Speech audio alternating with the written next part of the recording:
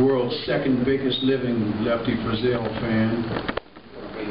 I say that out of respect to Merle Haggard because uh, that was Merle Haggard's hero as, as a youngster. That was his hero, and that's probably how we got Merle Haggard. How he continued singing was the uh, Lefty Frizzell style. Uh, I understand exactly what he meant when he was 15 years old. He said he thought Lefty Frizzell hung the moon, and he said, "I'm still not sure he didn't." That was enough inspiration there. Because when I was 15 years old, I felt about that same way about B.B. King, who's still my guitar hero to this day, always will be.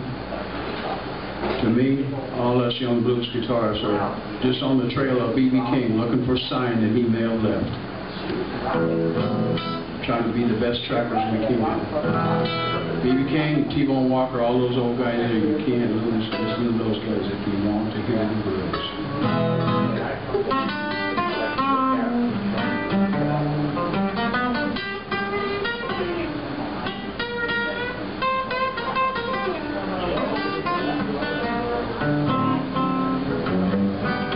be playing the blues in here tonight with Little Aaron King.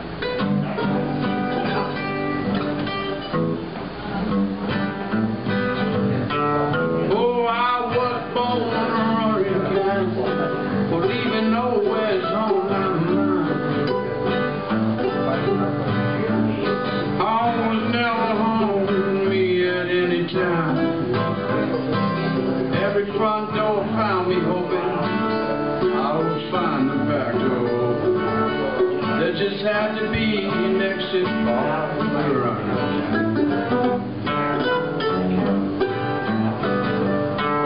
Within me there's a prison surrounding me alone, as real as any dungeon with stone.